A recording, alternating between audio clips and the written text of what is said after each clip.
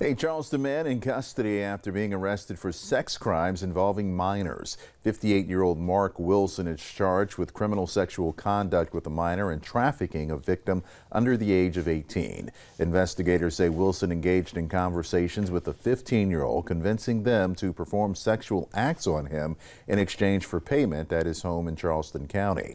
Deputies took Wilson into custody yesterday. He's being held at the Charleston County Jail.